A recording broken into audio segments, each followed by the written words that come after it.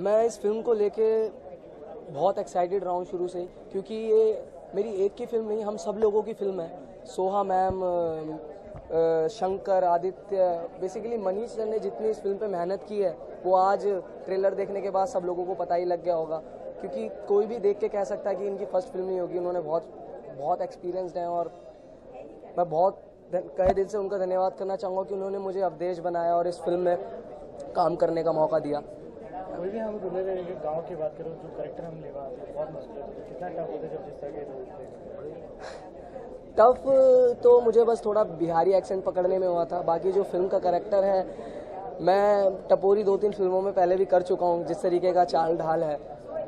तो मैं कभी ये नहीं सोचता कि मुझे कुछ चीज़ टफ लगती है। मैं हमेशा एज अ कंपटीशन लेता हूँ कि हाँ मुझे सामने वाले को मैं अपने करेक्टर को भी बीट करना चाहता हूँ उससे आगे जाना चाहता हूँ। तो जिस तरीके का फ़िल्म है मतलब मैं अकेला कुछ नहीं कर पाता। शंकर है, आदित्य, इन दोनों ने मेरा बहुत साथ दिया है। They are like my two hands in the film और बहुत मेहनत की और सोहा मैम और इन सब लोगों ने।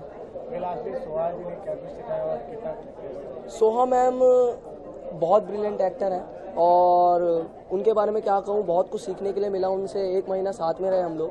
कभी मुझे ऐसा नहीं लगा कि वो बहुत सीनियर हैं और मैं उनसे बहुत जूनियर हूँ उन्होंने मुझे कभी ऐसा प्रटेंड नहीं होने दिया। और हमेशा कुछ ना कुछ बताती रहती थी, ये करो, वो करो, ऐसा करो ऐसा करो। मतलब इतना मुझे चीज़ें देखने में अच्छा लगता था कि हाँ मैं एक इस इंडस्ट्री का पार्ट हूँ और मुझे लोग बोलते हैं कि, यार हर्ष, ऐसा करो और ऐसा कर। It's a big think thank you so much good luck thank you finally आज मूवी प्रोमो कर दिया. Thank you. आज स्पेशली किस तरह की कम्प्लीमेंट दिया? कि बिकॉज़ आज उसके साथ आप इतने देर से काम कर हाँ जी। क्या कहना मैं तो थिएटर करता था उसके बाद राज़ी के साथ नौ साल से काम किया है मैंने और जो भी उनकी बदौलत हूँ काफ़ी कुछ सीखा है उनसे। और बहुत कोशिश करता हूँ कि जो भी उनसे सीखा है वो ट्रांसलेट करूँ फ़िल्म में।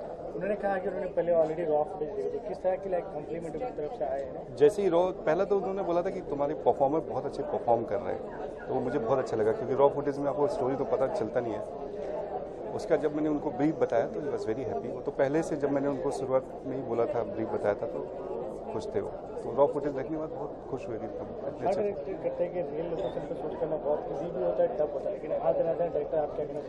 देखो अभी तो क्या है कि अभी तो रियल लोकेशन पे काफ़ी शूट हो रहे हैं। पहले तो फ़िल्में सेट पे शूट होते थे ज़्यादातर लेकिन अभी रियल लोकेशन पे काफ़ी शूट हो रहे हैं और ऑथेंटिक लुक मिलता है। और मेरी फ़िल्म जो थी वो तो रियल लोकेशन उसका डिमांड था। हम लोग कोल्हापुर में गए थे और रियल लोकेशन पे शूट किया की सोया है, इतने सारे बच्चे सीनियर सीनियर एक्टर आपकी पहली मूवी तो किस तरह अपने आप को हैंडल किया और नहीं थोड़ा सा चूँकि मैं थिएटर डायरेक्टर रह चुका हूँ तो एक्टर को हैंडल करना उतना था नहीं। और एक्टर जितने भी थे, सब इतने, इनके साथ में सोहा को छोड़ के और सीमा जी को छोड़ के बाकी सबके साथ मैंने तीन फ़िल्में, जो हल्ला बोल और अजब, प्रेम की गजब कहानी और फटा पोस्टर में चीफ असिस्टेंट डायरेक्टर था तो मैं उसमें उनके साथ काम कर चुका हूँ। सुहा के साथ तो बहुत अच्छा लगा काम करके बहुत ही अच्छी है। सीमा जी का तो बात ही नहीं करना बहुत ही उनसे सीखने को मिलता है। हाँ। इसका स्ट्रॉन्ग पॉइंट इसका स्ट्रांग पॉइंट ये है कि आप एक यू नो बच्चों के लिए और जो इतना बड़ा समस्या है ये चाइल्ड अब्यूज उनको एक इतना उसको उसके लिए उसके ऊपर कोई फ़िल्म बनी नहीं है। और मैंने वो फ़िल्म बनाई है रिसर्च करके बनाई है और फ़िल्म बहुत ही हार्ड रीडिंग वे में बनाई है। मतलब दो घंटे कैसे निकल जाएँगे पता नहीं चलेगा। तो वो एक मुझे लगता है कि लोगों को बहुत पसंद आएगा और साथ में एक बहुत ही असरदार शॉक छोड़ के जाता है लास्ट में। Thank you thank you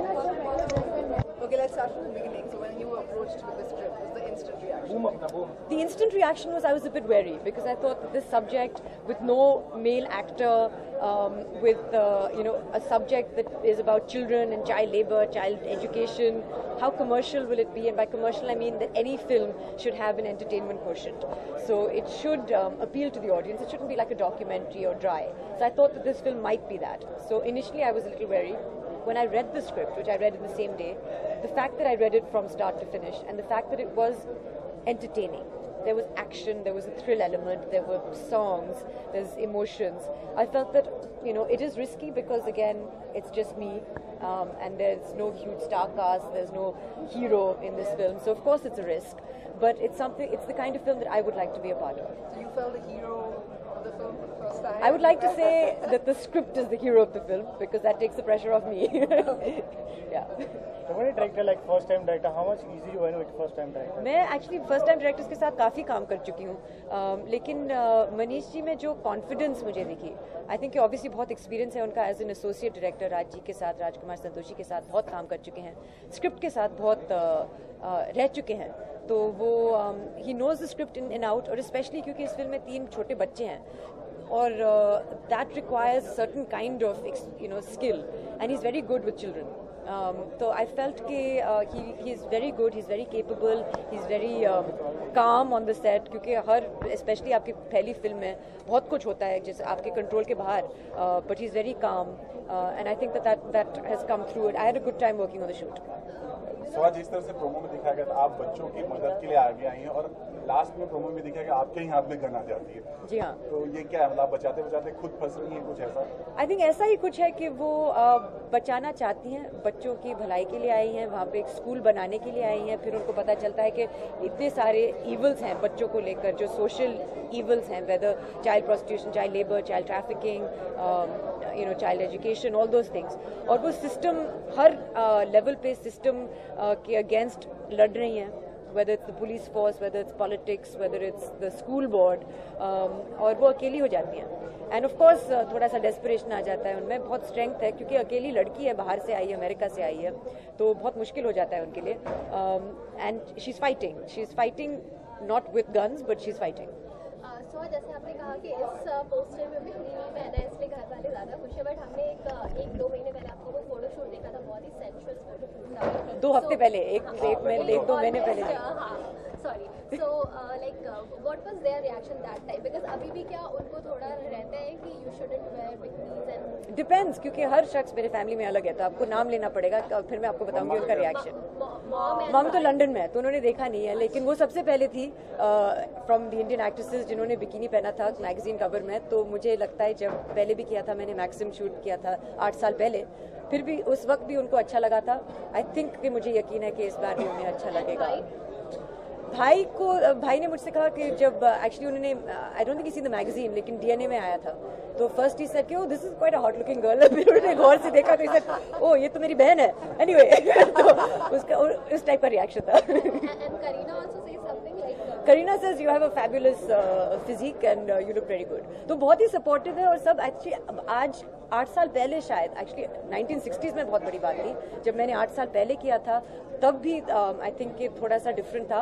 आज तो बहुत ही आम बन गया है आई थिंक तो जैसे आपने कहा कि आप अकेली अकेली फ़िल्म में लड़ाई लड़ रही हैं और आप भी सिस्टम के खिलाफ लड़ रही हैं। ऐसा ही कुछ इसमें प्रीति जिंटा के साथ हो रहा है वो भी उन्होंने कहा कि वो उनका कोई साथ नहीं दे रहा बॉलीवुड में।